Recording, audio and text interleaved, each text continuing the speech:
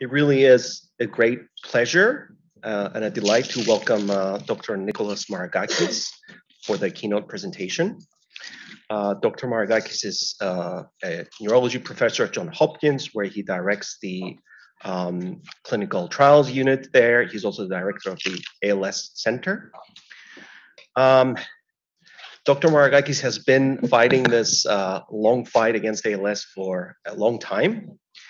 Um, he's made significant contributions. Um, a long time ago, he pioneered some of the some of the first uh, models that showcase flagged actually um, glutamate excitotoxicity as a major mechanism of motor neuron degeneration. This was some of the um, first evidence that supported, that facilitated the um, approval of riluzole as a treatment for ALS. Um, he um, continues, has been and continues to be involved in running many clinical trials through NEALS and at Hopkins. Uh, he also he's, he he continues to see and treat patients, and I know for a fact because once he um, um, saw a uh, an ALS patient that was uh, a family friend that his patients love him, um, and he also runs a very high level research lab um, he uh, works around many different aspects of ALS research. He continues to have a strong interest in astrocytic uh, biology and astrocytic um, toxicity. And, um, you know, I've known uh, Nicholas for a number of years. I first met him when I was a postdoctoral fellow at the uh, Project ALS, P2 ALS meetings, whatever they were called back then. Back then, and I guess I um, I can attest to his generosity. I think he always made time to speak to young grad students and postdoctoral fellows like myself. And uh, I, you know, I'm delighted that he's here today. Um, I, I can't think of a more appropriate keynote speaker for this uh, venue, which is geared towards both the patient population and the basic research scientists. So um, welcome to Northwestern again, and thank you. Uh, thanks for the very kind introduction. Um, thank you for the invitation to be able to speak with you today, uh, to the Les Turner Foundation, to Northwestern University. It's great being back amongst friends, and I will say to patients, you are um, extremely lucky to have a, a very talented and caring group of physicians. Um, but also, I think Northwestern has really beautifully grown its um, scientific expertise as well. And so it, it's it's it's great to come back. I was here a number of years ago to give a talk, and and so I'm honored to be back, and I'm, I'm happy to to be able to share some of the work we're we're doing. But also, I guess going last can be either good or bad. You know, sometimes someone stole my thunder, but then at the same time, I think some of the things I want to touch on today, I'll draw from from some of my colleagues, including you know mouse modeling and and so forth. So um, what I really want to talk about is um, induced pluripotent stem cells, how we're using them in the laboratory, but also as a community, how we're using them, how we might think about translating, or at least how our lab um, thought about potential use of these cells for translation um, into clinical trials. These are my disclosures. You saw this slide already, and I, I bring it up to really um, drive home the idea that the vast majority of, of patients obviously have what we would consider uh, sporadic ALS, with an important subset of patients having familial disease. And you saw that this morning as, as Katla talked about number of mouse models that are being developed with some of these familial mutations that can teach us something uh, very much about the disease. Importantly, about 7% of sporadic patients also have this very common um, mutation that Evangelos Kiskinis pointed out, the C9 mutation, and, and um, uh, that was touched on also um, by others. The second thing I want to drive home, and we've been very interested in the relationship between motor neuron cell death, and we call this a motor neuron disease, but in fact, we know from the work of others um, that other cell types are critically important as well. And so our laboratory is very interested in, uh, in astrocytes, but also there are data to suggest there are oligodendrocyte involvement, microglial cell involvement, even endothelial cells may also play a role. Maybe not in disease initiation, but actually in disease progression. And I think that's particularly exciting because it offers us additional uh, potential uh, targets for therapeutics. And so that's one of the things we will, um, I'll, I'll stress today. This is a, to me, a kind of intimidating slide. And in a way, uh, I'll, I'll, I'll readdress it at the end, but you can see there are a lot of relevant or potentially relevant pathways. A lot of these have specific mutations in specific genes that cause axonopathies or cause changes in autophagy and so forth while intimidating on one hand to suggest there's so much heterogeneity in the in the cause of the disease, again, at the same time, I think it's exciting because I'm going to show you a slide where there are a number of drugs that are being um, that are targeting almost every one of these pathways. So when I go to the clinic, I have some observations. So as a general rule, why does weakness in ALS have a distinct anatomical spread? I can tell a patient if he or she develops foot drop that that leg is likely to get weaker before, let's say, they develop speech or swallowing problems. Why do some ALS patients have slow progression on the order of years or decades, and others progress more rapidly? Why do some patients present, as Dr. Ozdinler pointed out, with such upper motor neuron predominant pathology, and, and Dr. Pioro is doing beautiful imaging along those lines to show the upper motor neuron relevant phenomenon that we sometimes take for granted, but clearly relevant and some patients have only or primarily lower motor neuron disease. Why do some patients have bulbar onset ALS and some have spinal onset? Why are certain cell populations spared? You know, oculomotor dysfunction only occurs very, very, very late, and primarily I've only seen it in patients who are on ventilators. So oculomotor um, nerves and muscles are spared, and autonomic function, for the most part, is spared. And then, of course, we no longer think about ALS just as a neuromuscular disease or as a motor neuron disease, but truly a neurodegenerative disease. And through the discovery of the C9orf72 mutation and, and subsequent clinical um, characterizations and now other genes, we really do think about ALS as a neurodegenerative disease rather than just a motor neuron disease. So a lot of complexity, but these are some of the things I think about that we can learn from our patients. So this was this is the SOD1 um, mouse model. Um, and and and Kat pointed out earlier that it really does represent a very small fraction uh, of the disease. Nevertheless, I do think it's an important model.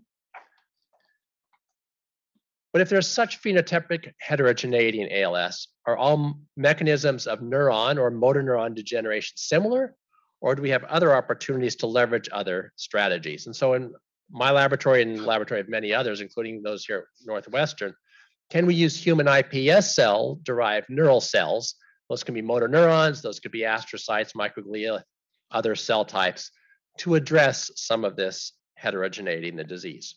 So what is a what is an induced pluripotent stem cell? I, um, I don't want to take it for granted because I know we have a diverse audience here, but the Nobel Prize in Physiology or Medicine was um, won in 2012 by um, uh, by Yamanaka and colleagues because they developed induced pluripotent stem cells from mouse embryonic and adult fibroblasts through a variety of strategies. So, you know, essentially for, for our audience here, this is the, now the ability to work back from the clinic, if you will, and that is to see a patient, a patient with ALS, but it could be other any disease, to isolate somatic cells. These could be blood cells, these could be skin fibroblasts, to then reprogram them with a mixture of three or four different genes, and there are a lot of different strategies now for reprogramming and to make this IP, these IPS cells.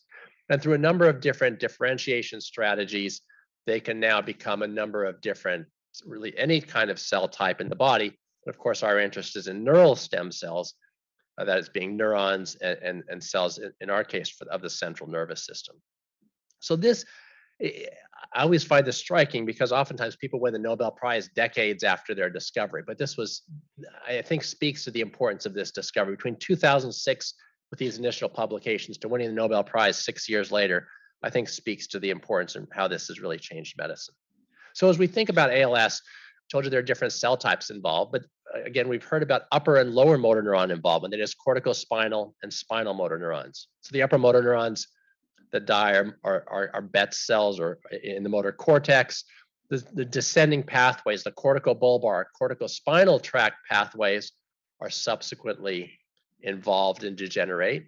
And at the same time, lower motor neurons, that is, those cells that go from the spinal cord out to the muscle, also degenerate both in the in the brain stem that can cause speech and swallowing problems, but also the spinal nerve roots. And those are oftentimes the things that we associate most with ALS because they're the most visually obvious with muscle atrophy or maybe muscle fasciculations. So in our lab in the lab of many others, we've been able to use human iPS cells to differentiate or use a, a variety of different differentiation strategies to develop spinal cord patterning, which you can see on the left. And we use a number of different factors to either generate spinal motor neurons, or we're also very interested in generating spinal cord specific astrocytes. So spinal cord specific astrocytes. And at the same time, our labs our lab is also generating corticospinal motor neurons that have very specific markers, but we're also, because we're an astrocyte lab as well, believe we now have some techniques to generate astrocytes from the cortex too. And that's something I think that's been a little underappreciated is the role of regional specificity and how that might influence disease. So spinal motor neurons and spinal astrocytes as an example, cortical spinal motor neurons and cortical and cortical astrocytes allow us, I think, a lot of potential for discovery and to address some of these uh, issues with regard to heterogeneity. So what does this look like in, in practice?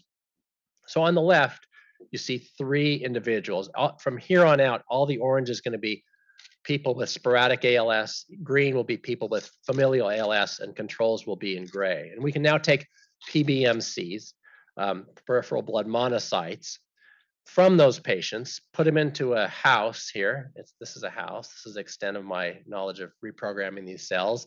And they come out as iPS cells. And you can see that we can make them in our laboratory into both astrocytes uh, up on the top or motor neurons, either from control patients, familial ALS uh, uh, patients, or patients with sporadic disease. And in fact, we can grow them together. We can grow them in co-culture next to each other, which you can see um, in these uh, in these round dishes. So we can grow them with connections to each other, or we can grow them on separate layers. And why can why is that important to us? Because now we believe we can tease out if we can separate those cells from each other, we can now ask questions about what is diffusing from one cell to another in a non-contact relationship, and I'll show you why that's important. We're also very interested to Dr. Ozdinler's work that was beautifully demonstrating that corticospinal and spinal motor neurons can we use those same techniques in our laboratory to essentially generate a corticospinal tract or, a cortic- or essentially reproduce much of what we see in the brain and spinal cord um, on a chip or on a dish? And in the far right, you're seeing um, uh, a magnified image of, of these little multi-electrode array electrodes that we can record from groups of cells. So we can recapitulate then these ALS relevant pathways, everything from the cortical from the cortical neurons to the spinal uh, to the spinal neurons. And that and then we're also we and others are actually using techniques to allow us to specifically activate subgroups of cells by introducing um, other genes like channel rhodopsins that allow us to stimulate individual populations of cells and then subsequently record from them. So I hope this gives you at least a perspective of some of the opportunities and uh, uh that that these stem cells um, offer. So what kinds of things might we look at with regard to spinal um, spinal motor neurons? We can look at ALS specific pathology. You heard a lot about TDP43 mislocalization and nucleocytoplasmic differences amongst these cells. We can record from them electrophysiologically. We can ask, we can stress them. So we can ask, do ALS motor neurons have different vulnerabilities to cell stress? We can mix them together, astrocytes and motor neurons. And of course, our goal and the goal of others is to actually do drug screening with these cell types as well. To ask, is a, is a drug that affects one cell type, let's say um, a Stathmin2 relevant pathway in one patient population, is that relevant to other patient populations as well? And so this isn't fantasy. This is not something that you know I hope we can do someday.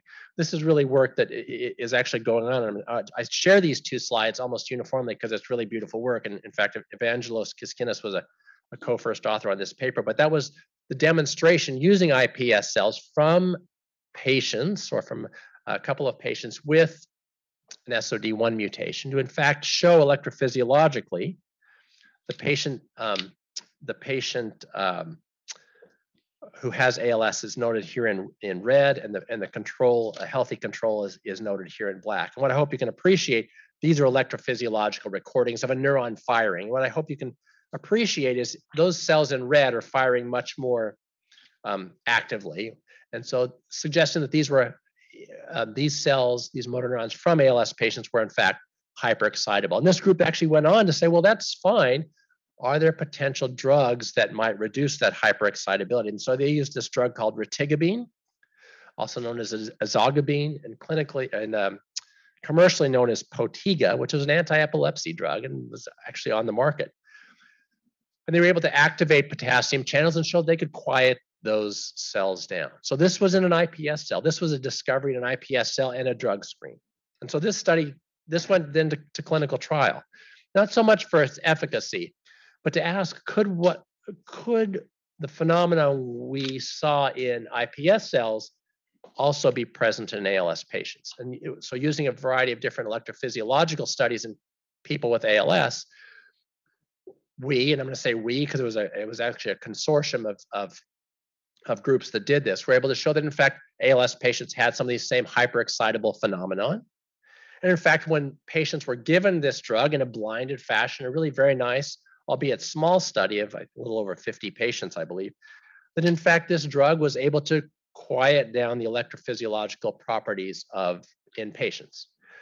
And so um, for a variety of reasons, ezogabine is not currently um, on the market, but there is a group um, a company, in fact, that is developing other potassium channel agonists with these same ideas in mind. So this is really something I hope you'll appreciate is really palpable that that what's happening in the laboratory really can get to the clinic. So we've been very interested in our laboratory about astrocytes and astrocyte biology and how they might contribute to, to motor neuron death and ALS pathogenesis. And I showed you this picture before. This is just, again, a reminder that we're very interested in this astrocyte motor neuron connection. When I see patients, they've already developed ALS. They might already have hand weakness or arm weakness or leg weakness. And there's a hypothesis that, that the disease may start in one region and subsequently spread to other regions. You can see this uh, demonstrated in red and, and yellow.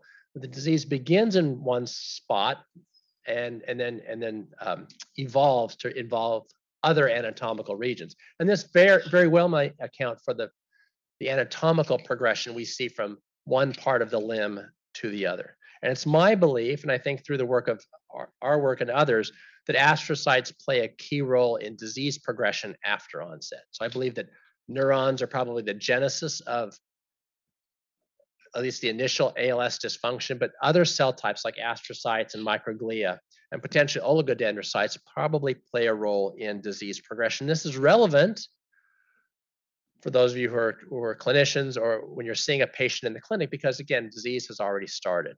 So these could be relevant targets for the way we think about things. So my laboratory was very interested in astrocytes and astrocyte biology that are very rich in gap junctions and hemichannels. So these um, these gap junctions are channels that form intercellular communication between two cells. It's how astrocytes talk to each other, for example. They're composed of two hemichannels, one on each side of the membrane. So you can see there would be one here and a hemichannel on the other side. And these gap junctions and hemichannels allow diffusion of small molecules, ions, metabolites like glucose, glutamate, lactate, second messengers like calcium, ATP, uh, and others, and even microRNAs uh, most recently. And they can either exist in an open state where those um, second messengers or ions flow from one cell to another or from the cytoplasm to the extracellular space, or they can exist in a closed space.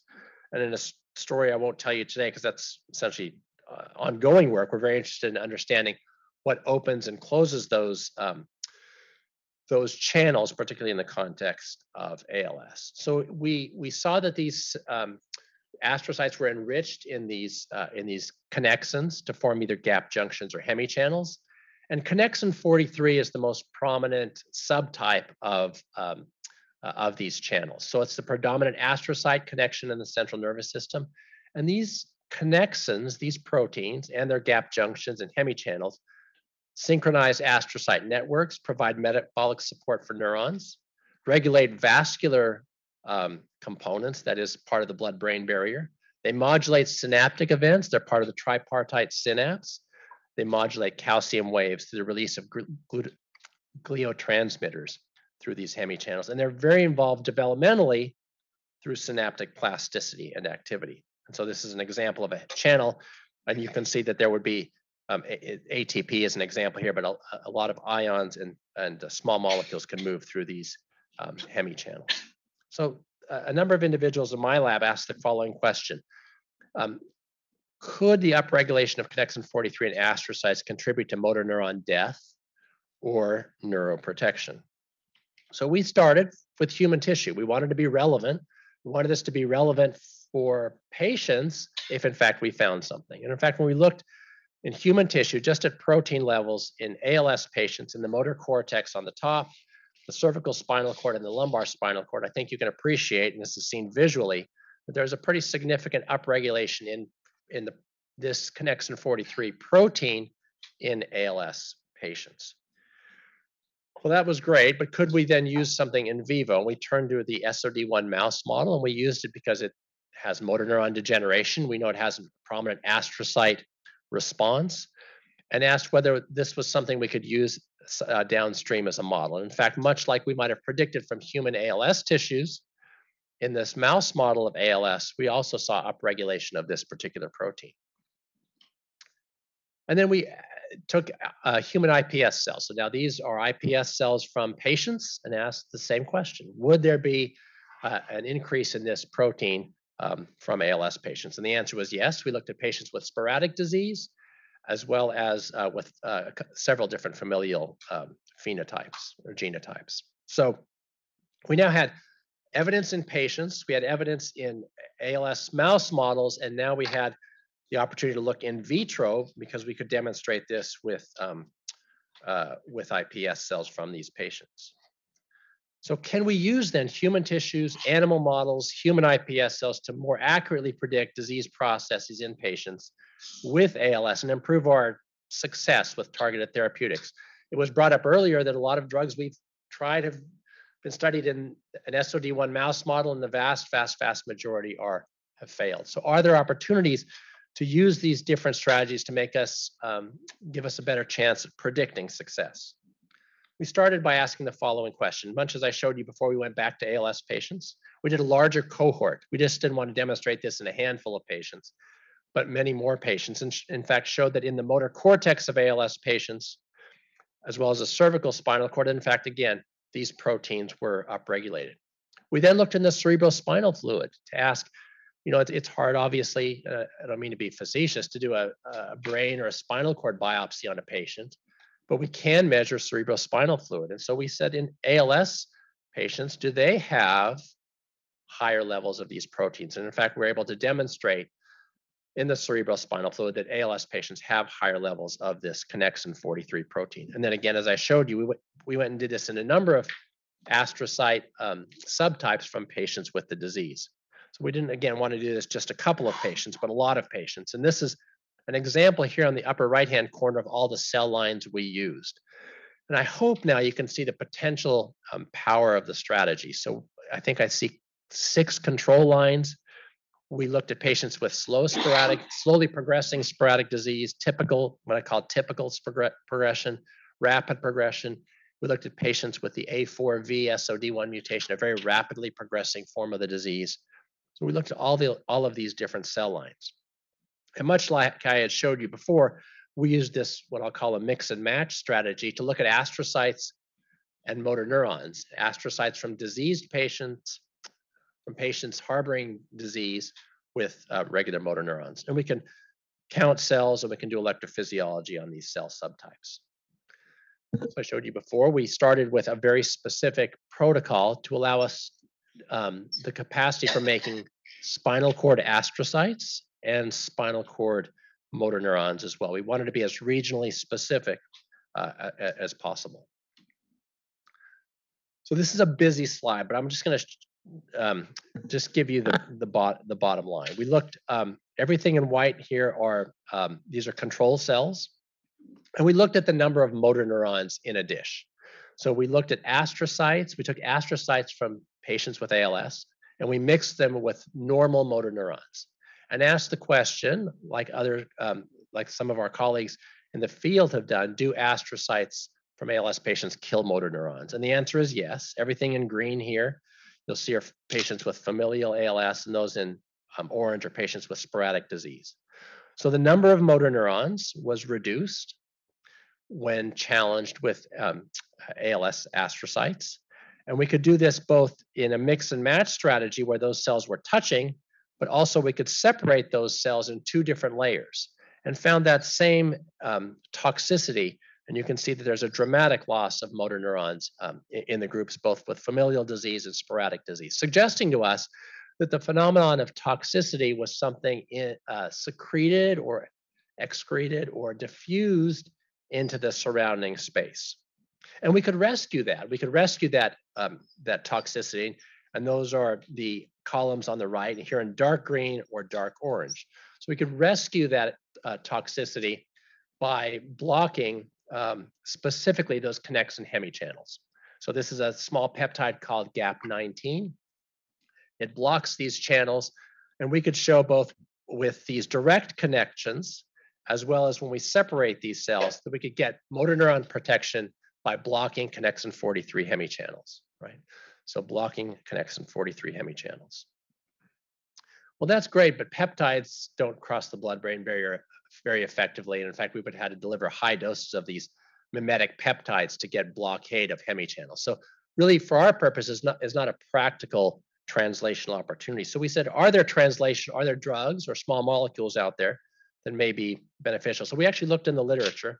And it turns out a number of years ago, there was a drug called tonabersat. And tonabersat was studied in migraine. And the rationale was that it is known that gap junctions and hemichannels play a role in something called cortical spreading depression. And it's thought to be a mechanism behind why migraine occurs. And that this drug, through a screen that I won't um, belabor, but looking for migraine agents was came to the top. So this was studied several, in several different um, placebo-controlled studies. It's delivered orally once a day, so it gets into the central nervous system. 199 patients were enrolled in two studies for migraine prophylaxis and 859 patients in two additional studies for acute migraine. So there was no effect on migraine frequency, but the belief was that this could be um, an effective delayed absorption of the compound. So, you know, when you get a migraine, you'd like relief quickly, but there was no there was no um, beneficial effect. But there was a reduction in migraine aura, thought to be linked to this idea about spreading depression. And importantly, if you're going to think about how you might take this from the laboratory and put it into the clinic, it was considered safe and well tolerated. So I want to show you some of the work we did with this drug. And the first thing is to show you some of the versatility. Can we look at how this drug acts in real time? So these are called multi-electrode arrays, a way, a way of recording electrophysiologically from groups of IPS motor neurons. And if I can get this to play. Uh, let's see here. Let's go to the visible arrow. Here we go. So what you can appreciate, I hope here, the higher the spike, the more electrophysiological activity there is. So on the left, you'll see before we give this drug tonabersat, and afterwards, you'll see that we can reduce motor neuron activity, hyperexcitability by the addition of by the addition of this drug.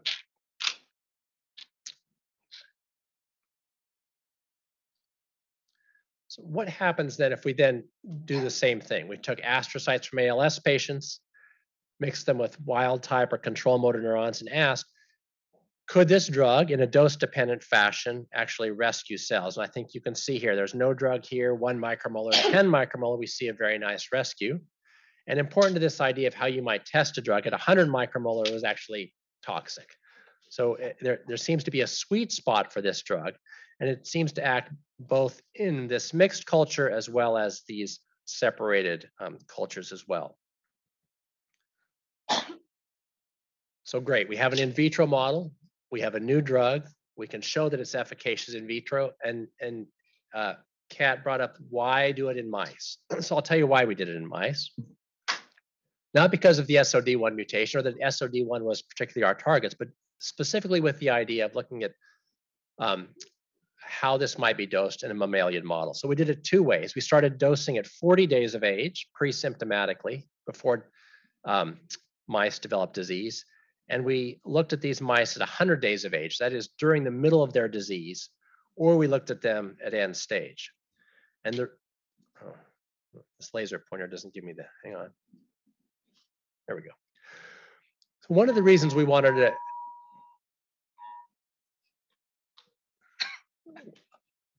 um, so one of the things we wanted to know was if we administered this drug, would it change the protein level of these hemichannels? And the answer to that is no. It seems to be acting at the channel. It's not working as an antisense oligonucleotide where we're depressing the level of this connexin protein. All we're doing is blocking that um, channel very specifically. And so when we look then at 100 days of age, during the symptomatic phase, we didn't see motor neuron protection. So we did not see motor neuron protection during the symptomatic phase. But if we looked in that 30 day window between 100, 100 days, let's say, and 130 days, we saw very nice motor neuron protection, which I think goes along with our hypothesis that this drug is probably acting after disease onset. It's probably acting when astrocytes get hot, they upregulate this protein, and they release factors that subsequently accelerate disease progression. We then ask the question, what happens if you administer it at the time of symptom onset? And um, this is tricky, and I'll tell you why it's tricky, because this is a very aggressive disease. But what we did find was that while we didn't see big changes with regard to animal survival, what we did see, at least in the cervical spinal cord, was a modest neuroprotective uh, effect. So not as robust as delivering it pre-symptomatically or early during symptom um, onset, but at least showed some uh, evidence that there was a neuroprotective uh, effect. So this is what I think is going on in the context of this particular um, protein. That something bad happens, something goes from green to red, something bad happens in the motor cortex and the ventral horn of the spinal cord, and subsequently microglia are activated and they release cytokines and chemokines. And when they do that, they make astrocytes hot. They make them reactive. And then through those hemichannels here in the black circles, you can see that something is released, and that's what we're working on currently, to either act on motor neurons or to feed back and activate microglia further. So it's a feed forward loop where we're activating microglia and reactivating microglia through this loop.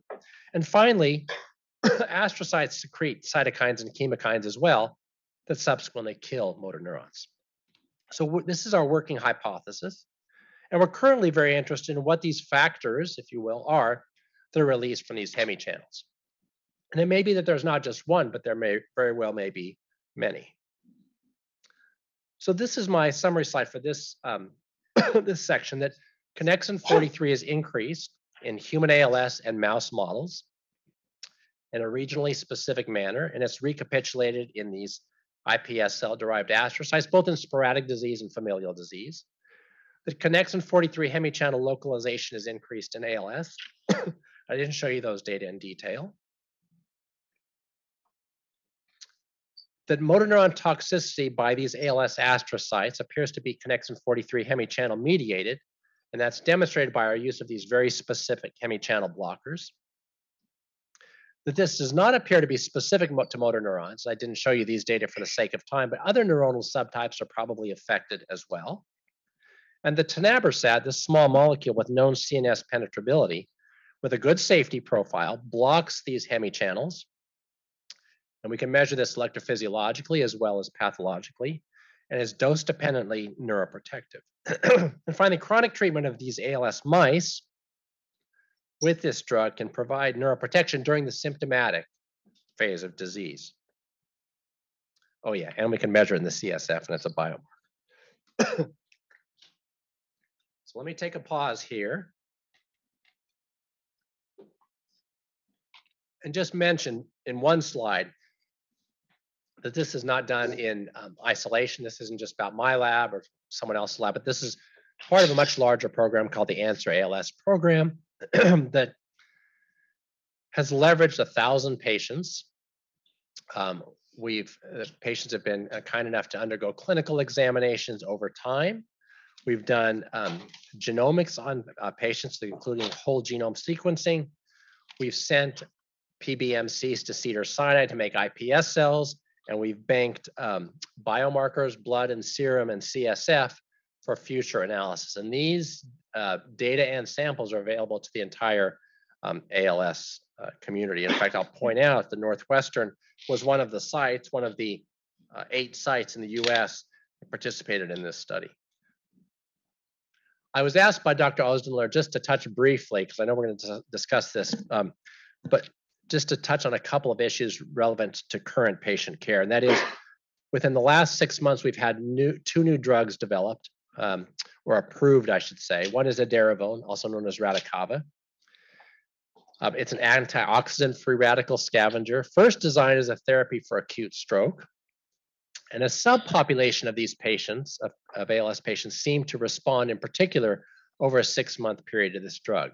The reasons are not entirely well known, but it represents about a 33% slowing of disease progression. It's administered orally in cycles over um, a, a, essentially two weeks out of the month, and it's pretty well tolerated with headache, bruising, and gait problems being some side effects. It's it's a expensive drug, as you can see, without um, insurance approval. It was originally formulated intravenously, but as the oral form became available in May of this year. and I'll touch on this because this drug um, called AMX035, also known as, we heard about sodium phenylbutyrate earlier from Bob Kolb's um, really nice uh, talk on uh, metabolism as it relates to ALS. So this combination of sodium phenylbutyrate and TUDCA here in the States, the drug is called Relyvrio, was approved um, by the FDA at the end of September 29th specifically. And it probably acts through mitochondrial and endoplasmic reticulum relevant pathways. It's administered orally, it's expensive drug without insurance coverage. And there's probably some GI upset initially, which seems to abate over time. This was studied in a trial called the Centaur trial. And the Centaur trial studied this particular compound, AMX0035. And it, over a six month period, it was shown that this drug was able to slow disease progression using this scale called the ALS functional rating scale. And patients who received placebo over this six month period declined at a rate of 1.6 um, points per month compared to those who received drug, uh, and they declined only by 1.24 points per month. And this is demonstrated graphically here. But more importantly, I think potentially, I won't speak for the FDA, but I, I think was relevant to its approval was in fact when they looked at patients who were on this drug for a long period of time, there was probably a survival benefit as well. This was a an ongoing analysis, but showed a survival in patients who received this drug from the very get-go compared to patients who had received placebo during that first six-month period. This drug continues to be studied. It's an interesting mechanism of action. Um, and so uh, it, it, has been approved, and I think stay tuned to see how widely um, effective uh, this compound is. I want to show you this slide because it really um, makes me hopeful and enthusiastic for what's coming down the pike. You can see the number of clinical trials for ALS has really blossomed over the last 10 years. These are company, institution, and government funded clinical trials. In fact, I'll tell patients who might be listening today, there are phase one, two, and three trials now recruiting participants with ALS. There are broad spectrum of ALS pathways now being targeted. The emphasis has gone from long-term studies, one year or two years, to relatively short double-blind studies followed by open label extension periods.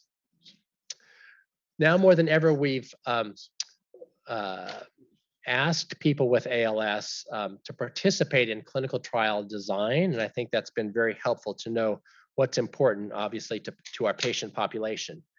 I also think we're, we're, we're starting to see a trend towards stratifying patients by genetic background, disease severity, or how they progress. And, and, and those are going to be incorporated into uh, studies. And, and, exploratory biomarkers. I showed you how we've been thinking about it as we're designing a new compound but there are biomarkers being designed and being implemented to try to um, recruit patients to the most appropriate um, to the most appropriate study. So where do I think the field, if I can, um, is going? Number one, develop better mo animal models of ALS that can aid in the study of novel therapeutics. Invest in the development of better biomarkers for understanding disease progression define the clinical and genetic subtypes of disease to allow stratification to patients. We want patients in the right trials and expand, of course, the therapeutic landscape. So there are now a variety of animal models, speaking to this, that may aid in our understanding of ALS. We heard about the SOD1 mouse in the top left-hand corner, but there are now worm models of ALS, fruit fly models of ALS, zebrafish models.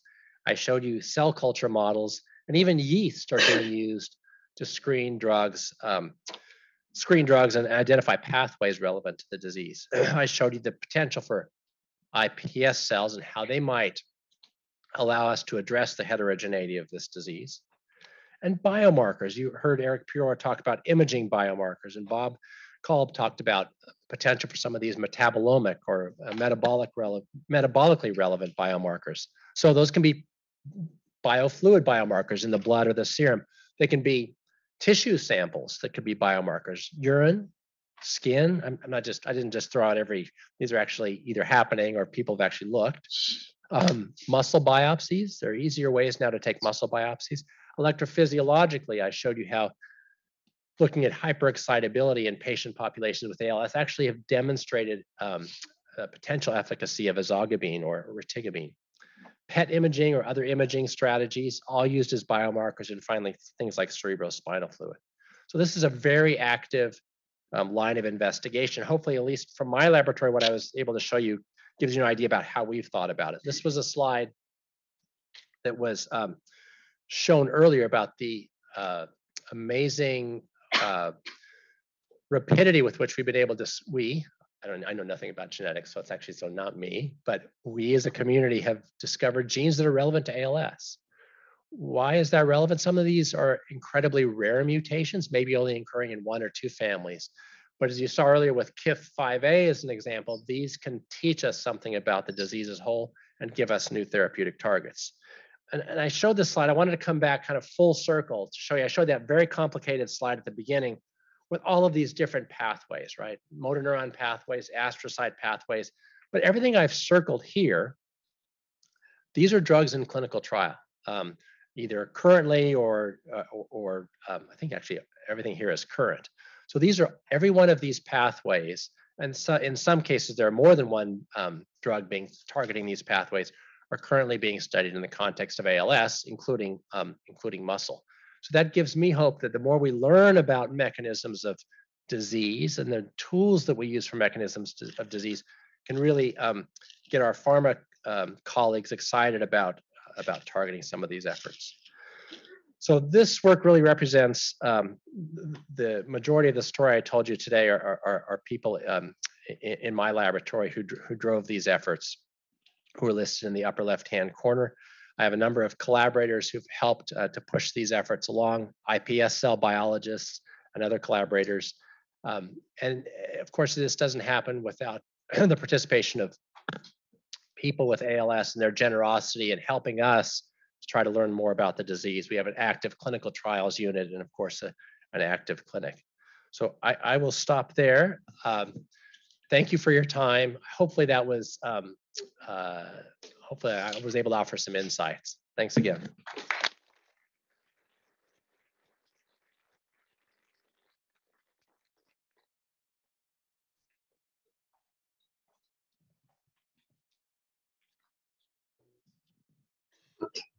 Great. Um, thank you so much, Nick. So, uh, questions? Yeah. Want to have one?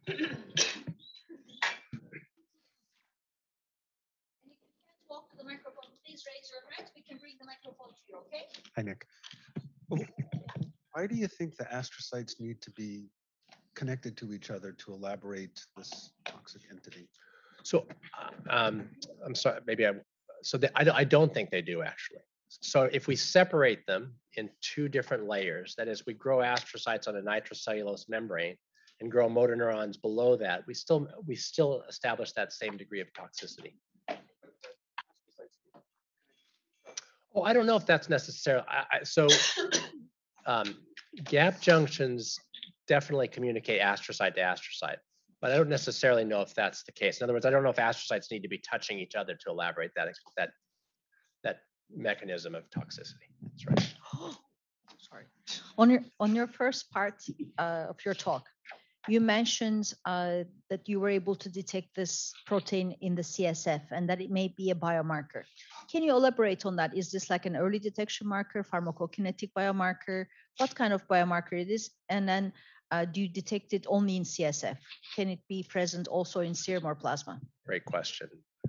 Um, so to, I'll start with the last part of the question. Can we detect it in serum or plasma? So we haven't looked, and I'll tell you why.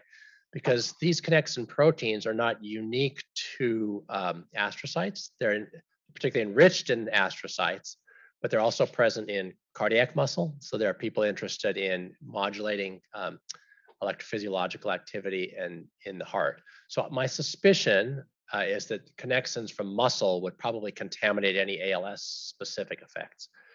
Um, we don't have enough samples to be able to look longitudinally, your, your point about um, could this be a prognostic uh, marker and so forth. We don't have enough samples to be able to say that. What I can tell you, in the samples we used, just ALS or control, we were able to detect the difference. But we couldn't, didn't have enough um, either time points or samples to be able to talk about do patients with more disability have higher levels and so forth, right? Great question. So you, you showed that uh, connexin was increased, right, in, in different models and in the patients. Do you know why? And is it at the RNA level, protein level? Is it like when the astrocytes are activated that it's part of a transcriptional change? Or? Yeah, that's a great question. The question is why is why are these why are these connexin 43 proteins um, upregulated? Uh, they are activated, but probably separately from just as we think about, let's say, GFAP um, upregulation. So we've been able to show um, that those those two phenomenon are probably separate, but it probably is uh, as an activated astrocyte. The mechanisms and the specific pathways by, by which that occur, you know, we don't necessarily have a good idea. Can, can you activate them in astrocytes? Like in culture, if you have cultured astrocytes, can you stimulate them and, and see an increase? Yeah, so so um, other groups who've looked at connexin biology or even gap junction biology will activate them via a number of different pathways. So um, a lot of chemokines and cytokines will subsequently activate and upregulate those. And actually, those uh, chemokines and cytokines actually also alter the opening of the of the channel as well. And so we're very interested in um, like I say, what what opens those what opens those channels. We've got some ideas along those lines. Hey, uh, really interesting talk. I thought you made a like a really important point about the different ALS subtypes, uh, and it kind of connecting that to the connexin 43 uh, results. It seems like a handful of your patients really had sky high elevation, and then many were sort of overlapping with the healthy control. Could you tell us a bit more about those data points? Were they further along in the disease? Did they have a particular ALS subtype? It's a great question. I, would love to be able to tell you yes, that they, they were, but no, it was it was it was very much a mix. Um, it, it was a mix among. We looked at some bulbar, we looked at fast and slow. One thing I will tell you, I didn't show you the slide for this for the sake of time. Some of the highest levels were in the. We, we looked at patients. Um, looked at three patients with the A4V mutation patients with a slower progressing D90A mutation than controls. And there was in those A4V patients, which we consider very rapid, uh, a higher level of connexin 43 expression. Again, it's a small number, but at least as far as let's say bulbar or spinal onset, no particular signal in that respect. Right. Nick, that was a beautiful talk. Thank you.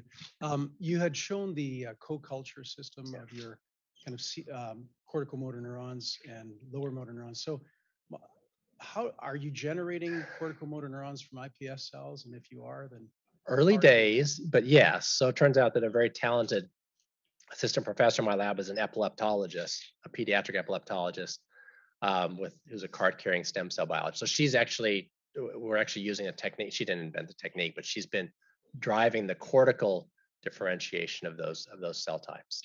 And so I think it's really um, interesting. I Evangelos and I were talking um, yesterday, and Hande and I haven't had a chance to talk in detail, but yeah, very early days. Um, we have some what we think might be good markers, at least for astrocytes, that we can get axons. We can separate these groups and we can get axons to grow through, but um, we've, we've got a little bit of ways to go. Yeah. If I may just ask, thank Yeah. you. I'm just ask another question regarding the connexin 43. Yeah. Have you looked at at their um, processes on endovascular or so endothelial cells because there's maybe some evidence of blood-brain barrier breakdown. And I'm just wondering whether there's any connection between the astrocytes and your connection, uh, connection um, channels with Uh, those? That's a great question. So the, the question was whether, what's the relationship to blood-brain barrier? Um, excellent point. That's not, we have, we haven't looked specifically. Um, you know, there's a lot of ways to do that microscopically and using some en- endothelial cell markers and so forth. We, we haven't looked specifically. No. Uh, for the gap junction of connexin 43, do you think it's the hemi channel or the full or the complete uh, channel? Do we think it's the hemi, do- uh, as far as, do we think it's the hemi channel or the gap junction? Is that? is that your Yes, yeah. yes. So we believe the hemi channel mediates that, that, um, we believe the hemi channel mediates the excitotoxicity. Okay, so you think that's the hemi channel. Uh, the other question is, uh, do you think the uh, connexin 43 hemi channel uh, mm, is responsible for the communication of the like the SOD1 mutant protein or or, or other other related protein, a signal protein to regulate the toxicity? So do I think that the connexin 43 hemi channel is, is allowing the release of the SOD1 protein? Oh, yeah. Or the, uh, or the some signal protein to re, to indirectly regulate the Uh, toxicity. So could there be an indirect phenomenon? There could be, you know, it only allows, so the full length SOD1 protein is too big to go through the hemi channel. Could there be a fragment of that? There are actually people interested in, again, that's a little bit above my pay grade, but some of these fragments of toxic forms of SOD1, but I think they're all still too big to pass through the hemi channel. Um, so it really only allows up to 1.5 KD. Um, again, um, microRNAs would be a, a particular target of interest for us, but ions and so forth. Could that be something downstream? It's certainly possible. So uh, last question is, uh, uh, connexin 43 is the predominant um, connexin pro, uh, uh, connexin protein in the CNS. Do we have other connexin um, proteins that are that might be responsible? Yeah. And also my question, this question is related to the uh, the blocker, uh, the the comp the blocker uh, tonabersat. Is that just specific for the connexin 43 or just a broad uh, and broad blocker targeting also other like connexin 26, connexin 32 things? Thank you. Yeah, my pleasure. So the question is, are there other connexins in the central nervous system? And the answer is absolutely there are. In fact, there are connexins associated with other CNS diseases. There are neuronal connexins. There are oligodendroglial connexin uh, connexins. So, uh, and then there are actually uh, there's a literature that suggests you can get hetero um, uh, heterodimers. Essentially, you can get two different connexins that talk to each other. Connexin uh, connexin 43 and connexin 26, for example. So the answer is yes, there are more than one type of connexin. Tonabersat is probably specific to connexin 43 at the concentrations we've used at higher levels.